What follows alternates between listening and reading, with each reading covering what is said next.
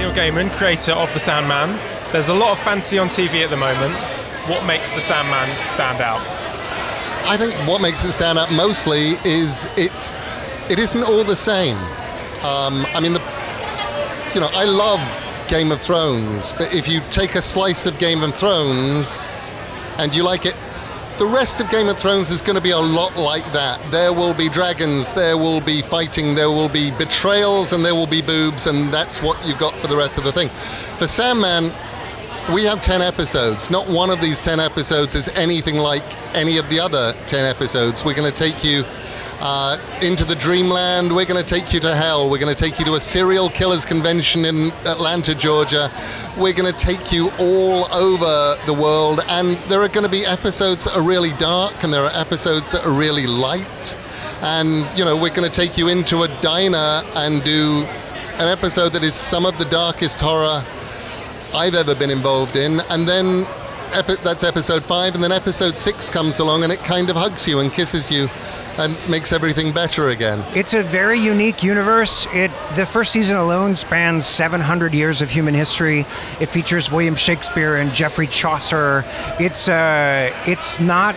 I wouldn't describe it as sci-fi so much as fantasy, but fantasy set in a very grounded 2022. Do you know something? Even though it is fantasy, it's just etched in truth and reality and the human condition. What does it mean to be human? About love, loss, family, our deepest fantasies, our deepest fears. I'm going to steal someone's words here. Someone said it's a story of stories. Um, and The Sandman isn't really about, you know, Morpheus himself. You know, he is the kind of your thread throughout all of these stories and the one constant, but it's about all of these other people that he gets to meet. And I think ultimately it is a reflection of humanity.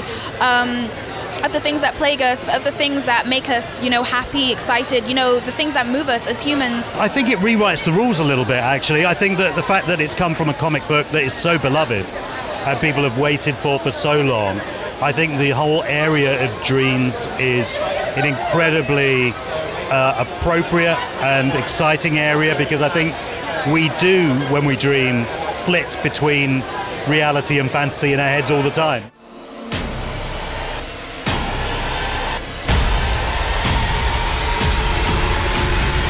Morpheus famously has three items that give him his powers. Yes. What three items could you not live without? Water, technically, because I'll die. Okay, my glasses, a ring that is very precious to me. Oh, why is it precious? Can you It's, reveal? there's sentimental meaning. I won't go into it. I suppose a guitar.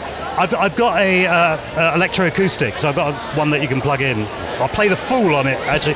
No, I, well, I, you know, rock and roll. Really, that was whole, my whole thing. Uh, relatively few chords. The laptop, uh, the iPhone. This is just a sad list. Honestly, it's not. It may sound superficial, but my phone, you know, in this world, it's very important. Um, and a pen and a notebook. I was given a puppet from Thunderbirds made in my likeness, and it was the first puppet they'd made since Thunderbirds in the 60s. I think that gives me special powers. An actual physical book in my bag at all times for when those two things don't work. And a hairbrush. Jokes. But there is another life which awaits you when you close your eyes. How many seasons have you got planned? We've got as many as they let us have, and if enough enough viewers show up, we can go for quite a long while. So we want to do all of it. We want a spin-off miniseries. We want, you know, we, we'll, we would love to make it for as long as they'll have us.